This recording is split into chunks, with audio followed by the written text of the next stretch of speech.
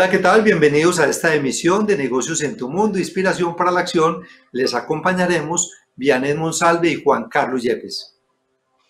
Juan Carlos, hoy tendremos un tema muy interesante que habla de la economía circular como una nueva generación de innovación. También tendremos a la actriz Aura Cristina Gainer en su faceta de emprendedora. Tenemos ya entonces este plato servido, vamos a ver nuestro contenido.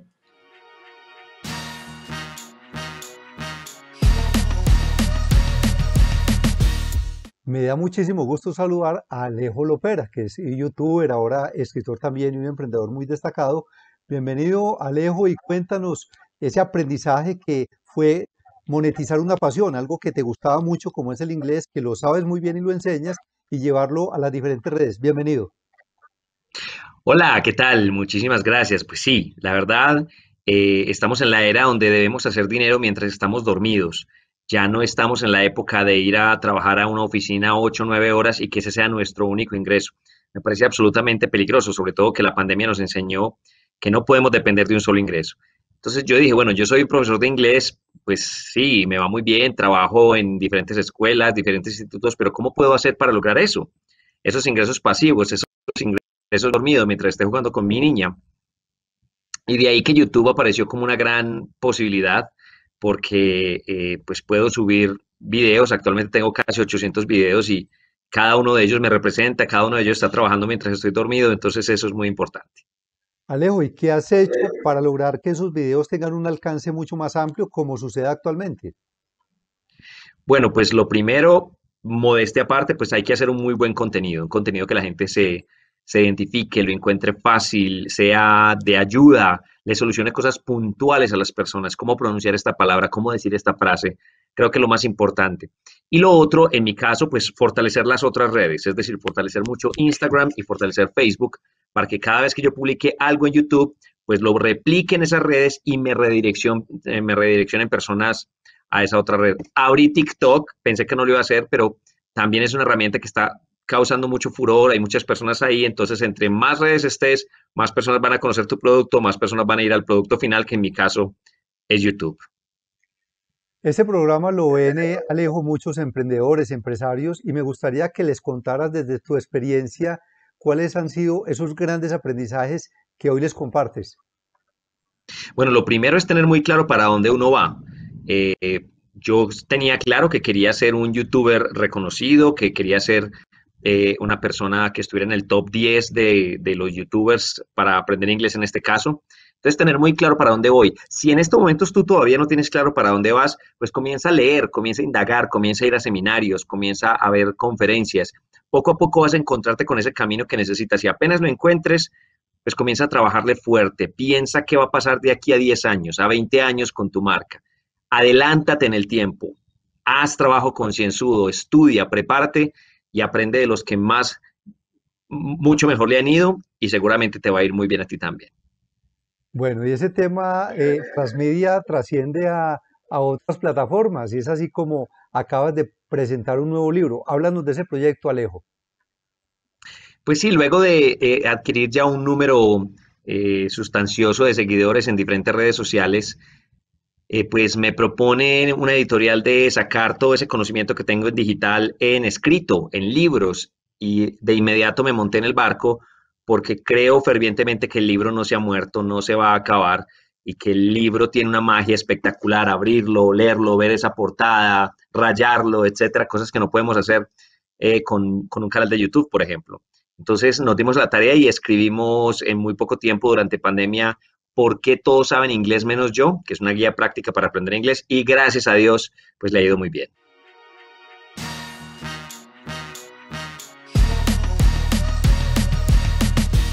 Hoy vamos a hablar de la prosiliencia, que es la competencia definitiva para una gestión del cambio exitosa en nuestros emprendimientos y en nuestra vida personal. Y me encuentro con Gustavo Mendoza, él es coach y mentor en inteligencia emocional y nos acompaña desde Chile. Gustavo, bienvenido a Negocios en tu Mundo. Cuéntanos cuál es el factor que significa el 90% del éxito de los emprendedores hoy en día. Claro que sí. Bueno, ante todo, muchas gracias por, tenerme aquí en el programa. Un, honor poder compartir con ustedes. Em, mira, para mí el éxito es un estado de logro. Y en un momento como el que vivimos ahora, en un mundo tan variable como el que vivimos ahora, donde hay tantos factores que influyen en lo que nosotros queremos lograr, para mí el 90% del éxito se encuentra más en la mente que en el mundo material. 90% mental, 10% operativo. Y ese 90% es la prosiliencia, que es este término que te traje para compartir hoy. La prosiliencia no es más que una combinación entre proactividad ¿sí? y resiliencia, la cual yo concibo imposible como que estén separadas. Por eso las uní en una sola palabra porque es un sistema. Son tipos de comportamientos que nos ayudan a movernos en el cambio y nos ayuda a gestionarlo de tal forma de que podamos lograr los objetivos en cualquier contexto. Y tú nos dices que para lograr estos objetivos en cualquier contexto hay que desarrollar la inteligencia emocional. ¿Cómo, puedes, ¿Cómo puede ayudarnos la inteligencia emocional a tener un óptimo desempeño? Claro, buena pregunta porque aquí viene la conexión entre la prosiliencia y la inteligencia emocional. La prosiliencia es el resultado de tener desarrolladas las competencias de inteligencia emocional que te permiten entre todas gestionar el cambio. Y gestionar el cambio no es más de que tú puedas absorber los cambios, puedas ser creativo, tengas iniciativa y puedas crear o tomar decisiones y cursos de acción que te ayuden a sobrepasar todos los desafíos que te presenta el mundo actual. Entonces la inteligencia emocional son ese cúmulo de habilidades y competencias que están relacionadas con la empatía, la motivación, el autoconocimiento, la gestión emocional y la gestión de relaciones que en conjunto te permite presentar comportamientos automáticos de proactividad y resiliencia.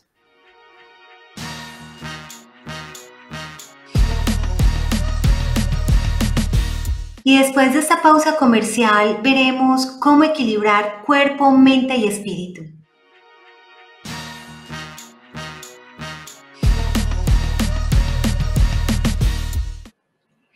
Hoy vamos a hablar de una nueva generación de innovación, empresas de economía circular.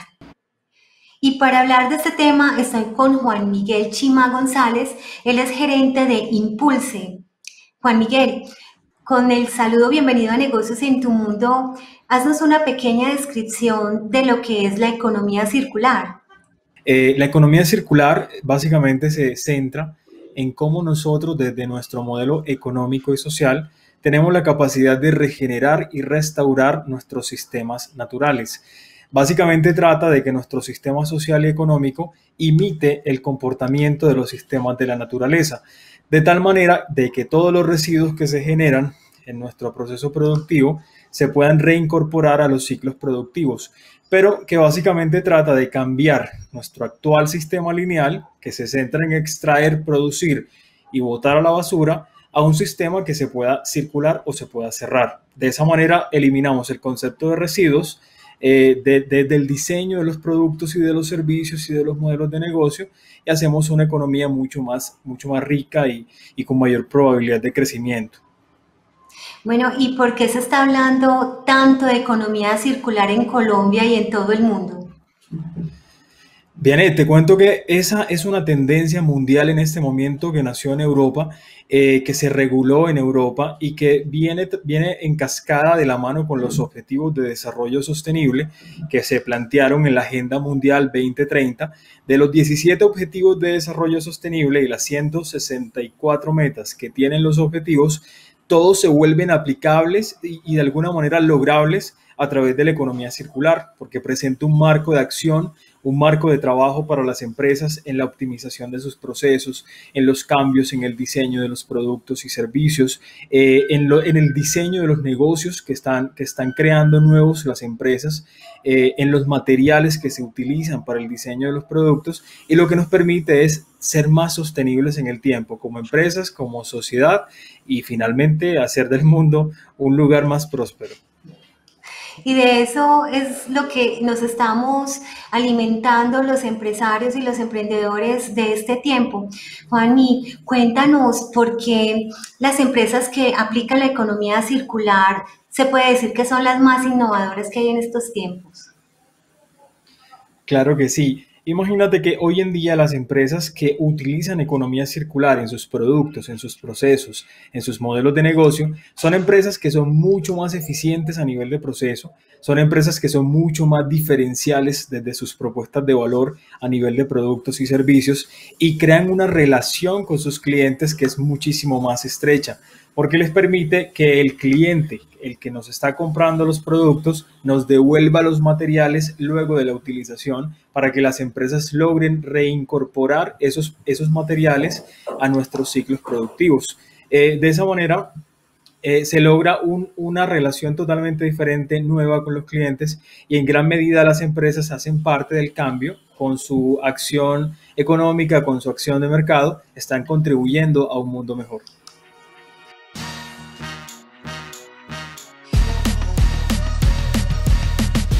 Hay que cuidar tres aspectos poderosos en la vida y es lo que tiene que ver con esa tríada mente, cuerpo y espíritu. Luis Hernández de Balance Vital es nuestra invitada para que hablemos sobre la importancia de mantener ese equilibrio. Luisa, bienvenida y hablemos sobre, sobre ese tema tan interesante. Bienvenida. Hola Juan Carlos, muchísimas gracias por este espacio. Claro que sí, es un tema supremamente importante desde Balance Vital nos enfocamos en mantener un balance en los tres pilares de la vida, que son cuerpo, mente y espíritu. ¿Por qué? Porque de esta manera vamos a ser personas que vamos a tener una vida muy satisfactoria, vamos a estar en capacidad de de pronto em, enfrentarnos a las adversidades de una mejor manera, de estar fuertes, eh, de estar sanos, de tener pensamientos positivos y sobre todo de aprender a ser como personas muy buenas que también pongan al servicio de las otras personas talentos y dones. Luisa, súper fundamental que nos des claves que sean bien poderosas para que cuidamos esa triada de mente, cuerpo y espíritu. Bueno, en el cuerpo, entrenar y alimentarnos súper bien, ser muy conscientes de lo que le damos a nuestro cuerpo. En la mente, leer, la lectura es un hábito poderosísimo, tener conversaciones con diferentes personas que nos aporten a mejorar eh, nuestra mente, a abrirla más y el espíritu a estar conectados con la divinidad que para muchas personas es distinto, para mí personalmente es Dios, entonces para estar conectados, saber qué es lo esencial, eh, de lo que uno se debe pegar en la vida para estar fortalecido. Y bueno, esas son como las, las tres partes. En el espíritu, la Biblia, bueno, diferentes herramientas también. Bueno, Luisa, cuéntanos sobre qué es balance vital y cómo es que ayudan a las personas justamente a proteger ese equilibrio. Bueno, Balance Vital, en Balance Vital somos una comunidad de personas unidas por el bienestar, eh, la vida saludable y la búsqueda constante de nuestra mejor versión en cuerpo, mente y espíritu. ¿Qué hacemos para ayudarle a las personas para que puedan encontrar y mantener ese balance? Actividades deportivas, entre las que está running, trekking, que es recorrido de montaña, entrenamiento funcional, a veces hacemos yoga. En la parte mental tenemos un tema de charlas semanales. En nuestra sección de educación que se llama Balanceadamente, hablamos con deportistas, especialistas de la salud, personas muy sabias en diferentes temas. Y en la parte espiritual hemos hecho a veces sesiones de meditación, estamos haciendo un reto en el cual las personas hacen una intención diaria que la llevan a cabo durante las 24 horas y de esta manera fortalecen su voluntad, fortalecen su carácter y esas son algunas de las herramientas que utilizamos. Finalmente, Luisa, contemos cómo puede llegar eh, las personas que están interesadas a ser parte de esta comunidad. Bueno, nos pueden contactar eh, vía Instagram, ahí van a encontrar un link de WhatsApp donde está la línea de balance vital, ahí nos pueden escribir, nos pueden dejar sus comentarios, las preguntas que tengan, eh, les, enviamos todo el brochure porque tenemos diferentes planes, entonces pues ahí pueden tener absolutamente toda la info y contactarnos. Luisa, muchísimas gracias por estar con nosotros aquí en Negocios. A usted, Juan Carlos, por este espacio y a todos los que nos están viendo, muy invitados a unirse a esta familia y a construir bienestar, que es lo que más necesitamos en este momento.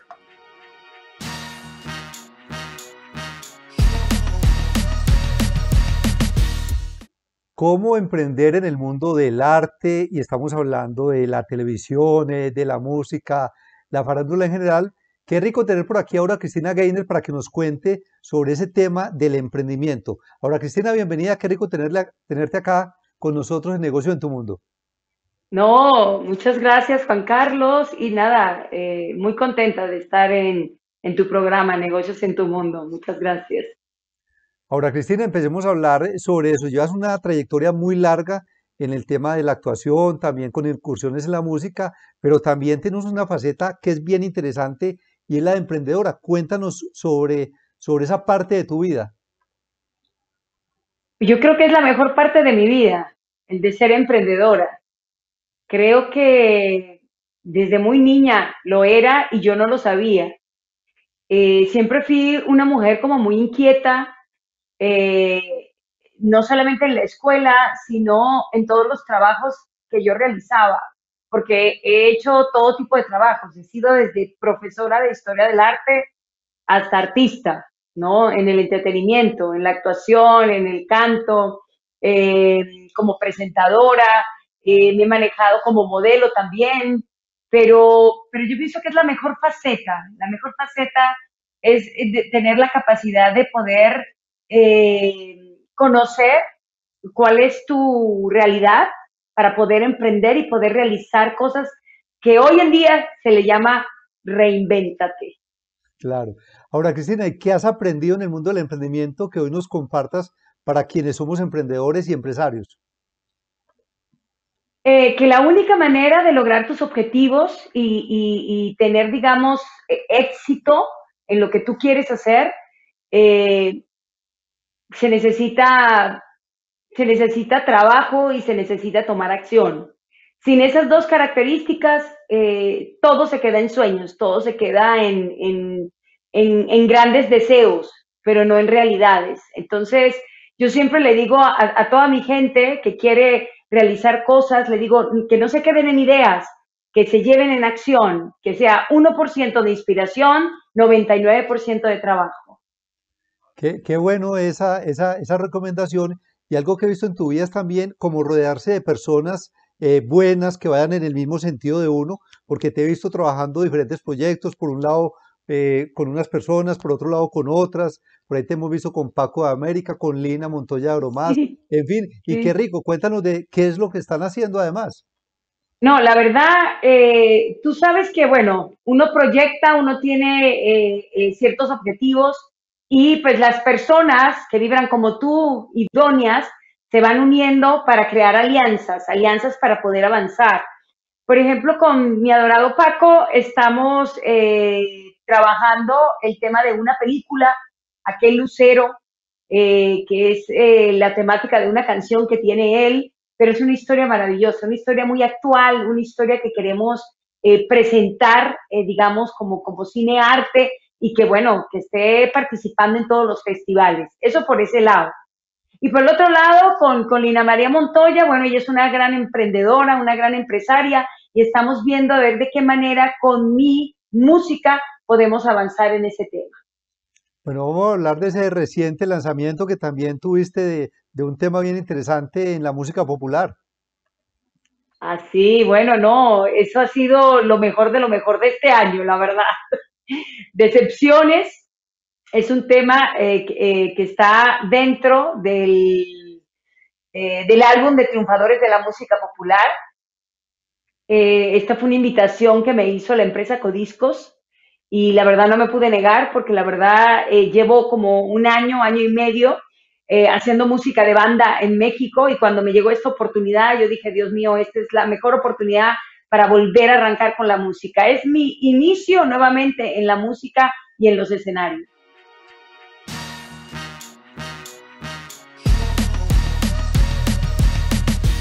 En Negocios en tu Mundo nos unimos a la campaña Hablemos bien de las empresas liderada por Evaristo Piedraíta, gerente de Susi, Panadería Artesanal. Veamos qué nos tiene para hoy. Hablemos bien de las empresas, hablemos bien de los empresarios. Esta empresa Todo Fresa nació hace 17 años. Ya son parte de un grupo donde están Todo Fresa, Parmesano y Redman esta empresa y este grupo tienen contratados 400 personas en esta pandemia y es mucha gracia. Los felicito, han mantenido el 90% de su nómina. ¡Qué esfuerzo tan increíble! Es una maravilla. Hay que apoyar a los restauranteros, hay que apoyar a los restaurantes. Bien por los empresarios, bien por ese emprendimiento y ese esfuerzo. Usted es proveedor de esta empresa, usted trabaja en esta empresa, haga un video, hable bien de ellos, hacen un esfuerzo que vale la pena exaltar. Hablemos bien de las empresas, hablemos bien de los empresarios. Estoy en el supermercado La Vaquita. Este supermercado nació hace 24 años. Tiene 700 empleados. Su gran orgullo es haberlos mantenido durante toda esta época. ¿Les parece? Mucha gracia. Y yo también creo que es mucha gracia. Tienen 500 proveedores, más de 12.000 SKUs, o sea, artículos registrados. ¿Usted sabe cuánto empleo y cuánta riqueza generan para este país 500 proveedores en este supermercado? Tienen varias sedes. Su domicilio es espectacular. Bien por lo de la vaquita. Los felicito. Sigan creciendo. Que les vaya súper bien. Hablemos bien de las empresas. Hablemos bien de los empresarios. Hace una semana estuve aquí en el forno. El jueves pasado se metió un río por este restaurante y prácticamente lo destruyó. Hoy, como ustedes ven, está todo limpio, limpio, impecable, ya están reconstruyendo. Dígame una cosa, eso no es mucha gana de trabajar, eso no es mucha gana de sacar este país adelante. Felicitaciones los de Informo, vamos para adelante, así se saca este país, trabajando duro. Hable bien de los empresarios, hable bien de las empresas. Bueno amigos, aquí queda la invitación para que hagamos videos de este tipo, invitemos a que la gente conozca estas empresas y hable bien de las empresas. Lo suben a sus redes sociales y nos etiquetan como arroba negocios en TM.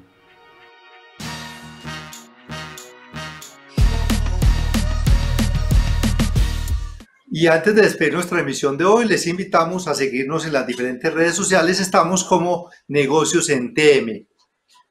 Nosotros nos vemos dentro de ocho días. Esto es Negocios en tu Mundo, Inspiración para la Acción.